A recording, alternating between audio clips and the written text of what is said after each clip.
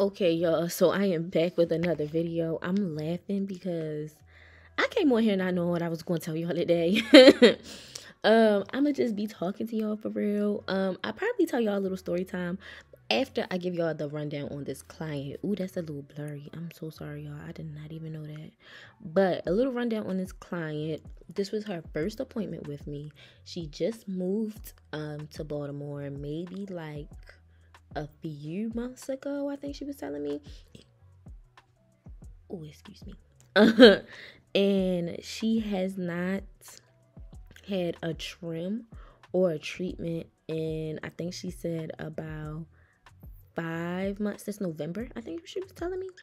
I think since November. So, um, with that being said, it was definitely time for a trim definitely time for a treatment. So what I did, I gave her a hydration steam treatment, added the Schwarzkopf hydrate um, deep conditioner, and then I added a little bit of the Schwarzkopf bonding conditioner. So um, I did all of that just because she did have a little bit more than normal shedding, and that's just probably just because of her split ends and stuff like that. But since you noticed that, usually that's a sign that she need a little bit of protein or whatever. So I did that. And now we are getting into her silk press. I'm blow drying. Y'all know I go in. I go in with the comb first, just because it gets everything um nice and straight, a good base to then use the brush with the concentrator attachment, and that's how I get it like straight, straight. Um, so we're doing that. Um, her hair was a very nice length. She didn't need much cut off. Um, yeah, she really didn't need much cut off. Y'all will see. I don't know if I recorded the trim for this one. I may have, but I'm not sure. Um, but regardless, she just got a little bit cut off. It wasn't a, it wasn't a whole lot. Like she didn't have a whole bunch of crazy breakage, a whole bunch of crazy split ends, just enough. So I told her as long as she gets her trim every three to four months, she would be perfectly okay, a okay, ready to go. Um, and yeah, so that's that. Um, I'll come back in to tell y'all like some other stuff that I want to touch on with her hair if need be. But other than that, her hair was healthy. Y'all see the shine. Um, she was getting her hair done regularly before she came to me anyway, before she moved. So it wasn't really much like craziness to it. It wasn't much that like she didn't have any real, real issues. So that was good. But now on to the story. So I guess today I'll tell y'all the story of how I got scammed out of $825 y'all. There are scammers on the loose. Um so this was last year in 2022. So I had just started offering taping services or whatever like I had done them before. and I knew about them. I already had a vendor for them, but this is when I finally started offering taping services. I finally start offering taping services, y'all. And the girls was not playing. It was around tax time this happened too. So it's around tax time this happens. Um, the lady she booked her appointment the beginning of March. Yeah, she booked her appointment the beginning of March. Her appointment was the end of March. She booked her appointment on March 13th. She paid her appointment in full. This is one of the times where I had the option for you to be able to pay your appointment in full. um, I don't have that option anymore, clearly, um, if you look on my booking website. And y'all will see why. So she pays her appointment in full. So I'm looking at it. I'm not really paying it no mind. I'm like, okay. She booked her appointment in full. Okay, cool.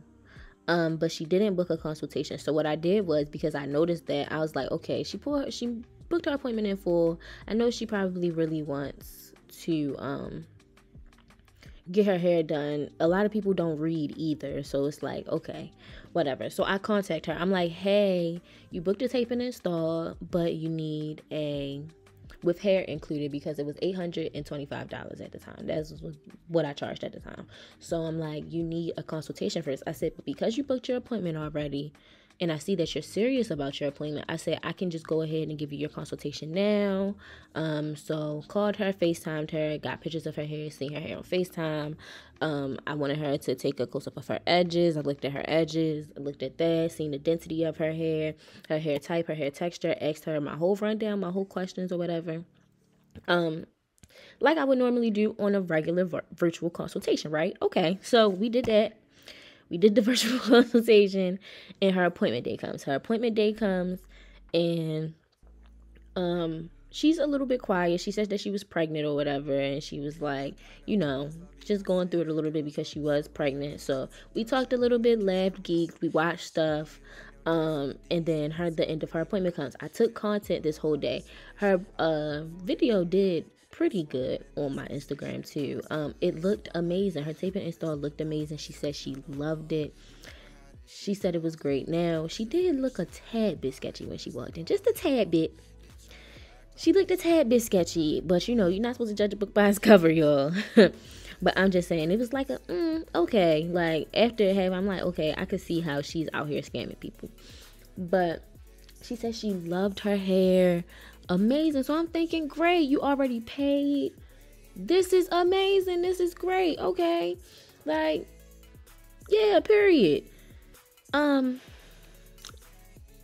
did the content. I edited it, posted it. It did well. Seeing her, whatever. I asked her she wanted to do her maintenance appointment, book her maintenance appointment, but she let. She was like, no, because my schedule is kind of like all over the place. So when um I figure out my schedule for when I want to come in for the maintenance, then I'll do that or whatever. So I'm like, okay, whatever.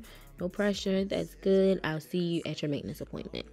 Um, so a few a few days passed by. She didn't book her maintenance appointment, but y'all, she got her hair done on March 29th, and y'all could tell like this really like because I've never gotten that's that's still to this day. Knock on wood. That's the only charge back that I have ever gotten anything. So I'm like, she didn't book, but lo and behold, she got her hair done March 29th. By April 29th, y'all, I got an email at five in the morning talking about X, Y, and Z disputed the charge because they have no knowledge of the charge. Excuse me?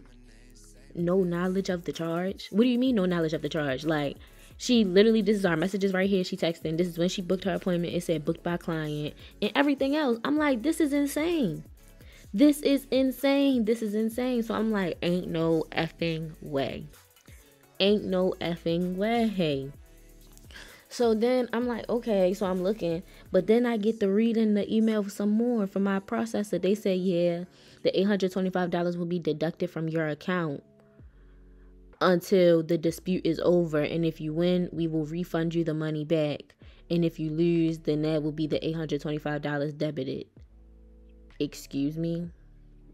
So she the $825 is just gone. And I had to wait, y'all. It made me wait up to, it says it could take up to 90 days for this dispute. When I tell y'all I was livid, upset, I was crying in the bed, like crying in the bed because that never happened to me before. And y'all, honestly, I put my all, I put my all into doing this hair stuff, y'all. Like, I, especially when last year like I started getting a little bit more popular and like I was just really into what I was doing. Loved it. I still love what I do. But it was just a different kind of grind, you know. Like I was posting basically every day, almost every day. And for somebody to dispute that charge, y'all, I was just so hurt and so upset because I thought we had a nice time. She had, she her hair was done. It's not even the fact that she said she didn't like her hair, something happened to her hair. It's the fact that she said she had no knowledge of the charge. And you know, y'all, like clearly y'all see, I have a son in my in the background. Like I have a child, I had bills to pay, um, and everything, y'all. And I was just so hurt, like. I was so, so hurt. But lo and behold, a few months went past, like about a month and a half, two months went past, y'all. Um, and I lost the dispute. I lost the dispute. Now, I didn't understand why I lost the dispute then, but I understand why I lost the dispute now. Even though I sent our messages, I sent um when she booked her appointment and everything else because banks really don't care. Like banks don't care and you really have to dot your T's, mm, cross your T's, and dot your I's. you really have to do that, y'all. So now I have things in place like a real business should have in place. And y'all, if y'all have a business, even if you're just doing a service like you doing services, you're doing lashes, you're doing hair, you're doing nails, anything, you need these contracts and things in place. So now I have an intake form. And with my intake form, y'all, um, it needs to be a little bit more thorough. I'm gonna actually go and update that today.